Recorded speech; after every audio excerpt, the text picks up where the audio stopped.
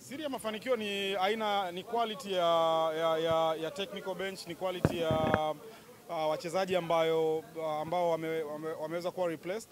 Kwa hiyo uh, hongera kwa uongozi wa Yanga kwa jinsi ambavyo wameweza kuendelea uh, kuwa na mwendelezo mzuri wa kuwa na timu bora, kuwa na technical bench bora uh, kwa sababu ukiangalia aina ya wachezaji ambao tumewasajili profile zao zinajielezea, uh, technical bench ambao wamekuja uh, profile zao zinajielezea vizuri, kwa hiyo uh, uwezo wa kuweza kuwa na mwendelezo wa kiwango kizuri uh, licha ya kuondokewa na technical bench na, na, na, na na wachezaji unatokana na uh, kazi kubwa ambayo wanaifanya uongozi chini ya uh, rais wetu Engineer Hersi Ali Said ya kuweza kupata watu bora zaidi ambao wanakuja kuchukua nafasi za watu ambao wanatoka. Meneja wengi wanatamani kumuona uwanjani kwa tunaambiwa ni balaa kweli kweli, lakini hajafanikiwa kumuona mpaka sasa. Yeah. Labda ukitoa hofu waeleze hali yake iko vipi?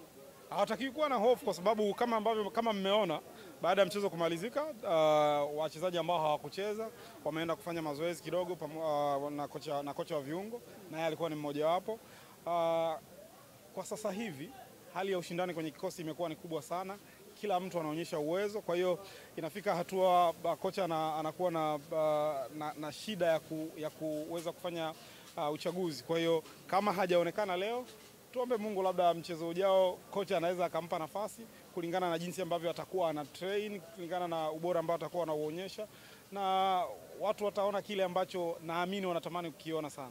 Meneja e, aliumia mchezaji Skudu akafanya wasabu. Watanzania wengi wanatamani kusikia kwamba anaendeleaje.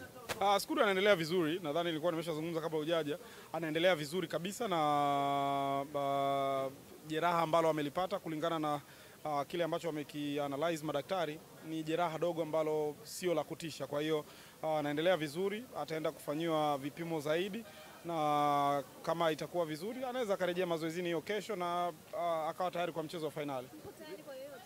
Tuko tayari kwa yoyote, kwa yoyote, hata kama kuna mtu mwingine ambaye mnamuona yuko kwenye mashindano anataka kuja, mwambie aje. Yeah. Kunku. Ah, ni mchezaji ambaye amekuja kwa sasa hivi na alikuwa bado hajaweza kupata nafasi ya kutrain na timu kwa muda mrefu.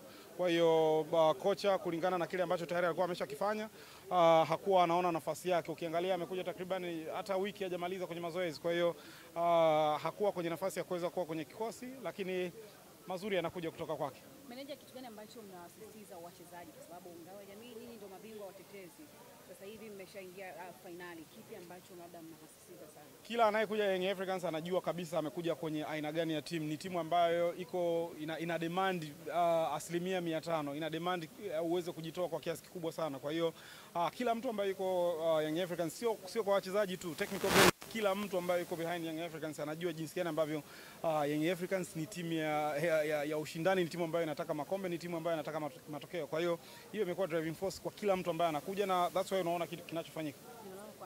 Wananchi. Tunawapenda sana, tunaomba waendelee kutupa support. Wamekuja kwa wingi sana Mkwakwani, tunategemea mechi ya fainali wataongezeka zaidi kuweza kutupa nguvu, na inshallah tuweze kurudi Dar es Salaam tukiwa tunatabasamu zaidi ya sasa hivi inshallah.